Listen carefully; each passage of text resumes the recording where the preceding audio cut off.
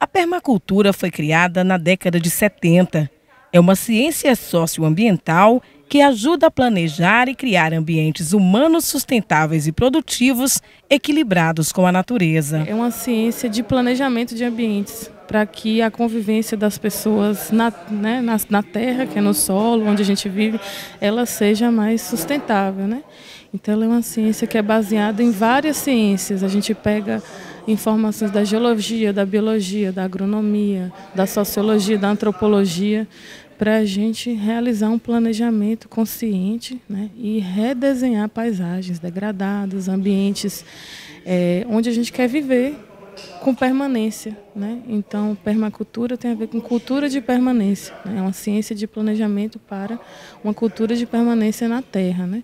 Isso pode acontecer na terra física mesmo, em ambientes rurais, né? também em ambientes urbanos, em cidades, em escolas. Então, essa é, também é uma ciência de planejamento que pode ser aplicada em qualquer ambiente. Né? Uma escola, uma universidade, que tem princípios éticos e princípios de planejamento, né? de execução, da organização do espaço, disposição de elementos, de relação entre pessoas, entre processos ecológicos, entre grupos. Né? Na Bahia existe um Instituto de Permacultura. É uma organização não governamental que foi fundada em 1992. Um grupo capitaneado por uma mulher chamada Marcia Hanzi, que hoje atua em Tucano. Ela tem uma, um, um centro de pesquisa e de atuação no semiárido com a permacultura ela cria, eles criam esse instituto em 92 e a partir daí a primeira função, vamos dizer assim, dessa primeira geração foi, foi espalhar a semente da permacultura no estado da Bahia. Eu faço parte da segunda geração. A segunda geração foi que constituiu para o Instituto uma metodologia de incidência política e é, execução de política pública. Então, nós executamos o Policultura no Semiárido, que recebeu o primeiro prêmio de baiano de meio ambiente.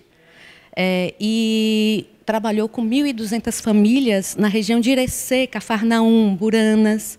A gente trabalhou com segurança alimentar né? e combate. A, ainda usávamos a palavra combate à desertificação. Com o tempo passou a ser convivência com semiárido.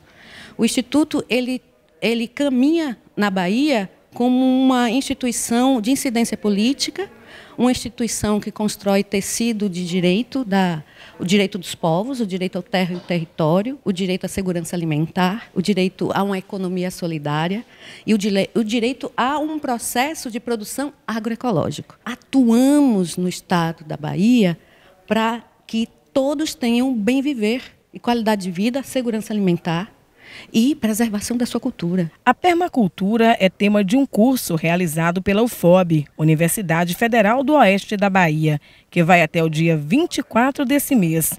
É a primeira vez que o curso está sendo desenvolvido no estado. É uma ação que é da rede Neperma Brasil, né, e da qual tanto a Universidade Federal do Oeste da Bahia quanto a Universidade Estadual do Sudoeste da Bahia elas fazem parte.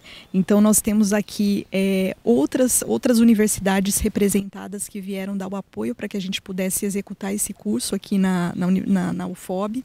E aí nós temos a presença né, dos idealizadores da rede, que são da Universidade Federal de Santa Catarina, e também alguns colegas da, da Universidade Federal Fluminense e da Fiocruz.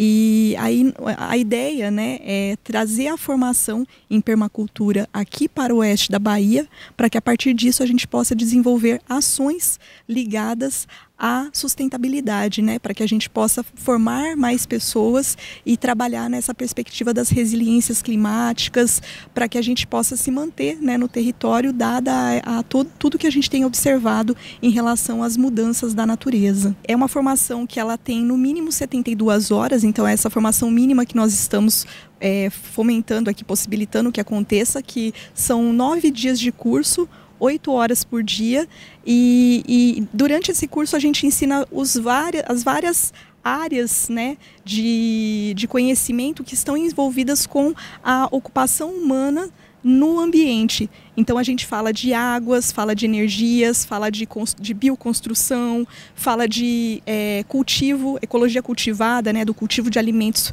que a gente precisa né, para a nossa sobrevivência. Mais de 30 pessoas estão participando do curso. Tatsu Chubo foi um dos palestrantes. Ele destacou algumas formas práticas de desenvolver a permacultura em casa mesmo. Por exemplo, a gente pode pegar e tratar o nosso resíduo orgânico, que são os restos de alimentos não cozidos, e fazer uma composteira. A gente pode reduzir o custo energético da nossa, da nossa estada na cidade. Né? Por exemplo, aqui é um lugar bem quente, não tem por que a gente usar é, água de chuveiro elétrico.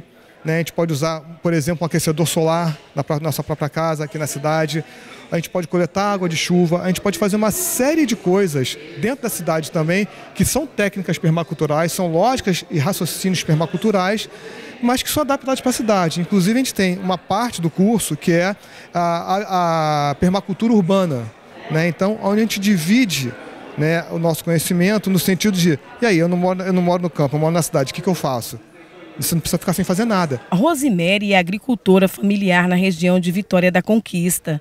Ela está participando do curso e já pensa em como vai desenvolver essa metodologia na comunidade onde mora. Isso aqui é um aprimoramento né, dos conhecimentos, uma troca de experiência né, científica junto com os saberes ancestrais também.